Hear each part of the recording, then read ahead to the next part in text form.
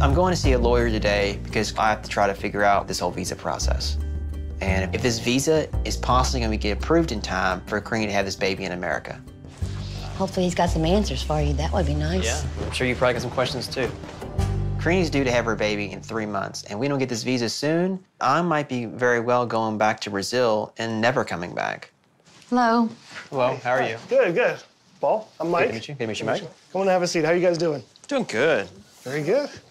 Kind of the easiest way to, to start on this is tell me what's going on. Okay. Um, I'm currently married to somebody from Brazil. Um, we've been married a little over a year now. She's pregnant with my child, and I really want to get her her visa before the baby is born. Okay. What the law requires is that you currently be making a certain level of income. How much are you supposed to make? For a family of three, if you have a child, it's about 26000 Wow. It's significant. Uh, it's, it's, um, I've been doing odd jobs on a farm and doing anything I possibly can to make money. I do not make enough income to afford this visa. So my only option is asking my mom to help financially. I'm gonna have to have a, uh, a co-sponsor probably. So you understand we're having difficulties too right now. You already know that. I would make sure that we had a place to live and we were totally financially independent. It's impossible right now. That's what I'm just Yeah, but saying. I'm not gonna right say now, it it's right now until I can You do that. understand why it's impossible right now. Ultimately, if it's not possible to meet that financial requirement, then the reality is they won't issue that visa.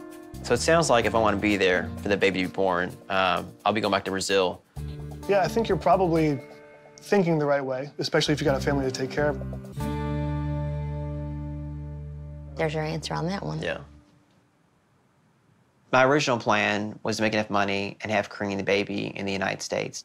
But unfortunately, uh, with the current timeline I've been given, it don't seem to be possible. So it looks like I'm gonna have to go ahead and give up everything here and go be with Karine in Brazil. Paul, good to meet so you. Glad really you come in. it. Thank, you. you so Thank you much for so taking much. the time out of your day to do this. I appreciate it. It's stressful. I'm 35 years old, and uh, I can't really support my wife and baby. It's definitely um, disappointing. Me and her being married for over a year now, and her being pregnant with my baby, you still do not want to sponsor her whatsoever. No. Because actually, I'm sponsoring you I right now, and I don't want to sponsor I two people. I advised him from the beginning not to jump into marriage. I mean, that was too fast. And then um, to have a baby, I think it's crazy. Just needs to um, grow up, I guess you'd say. You understand that once I leave this time, I'm never coming back. Since you're never going to do the thing for her to come with me, I'm never coming back. Oh, it's an ultimatum now? This No, it's a fact. It's a fact, Mom. Well, I think we should pray and, and we'll see what happens. Pray? Yeah. Pray for what? Pray you're gonna change your mind? No. Pray that things work out the way they should. Work out they should. It's impossible.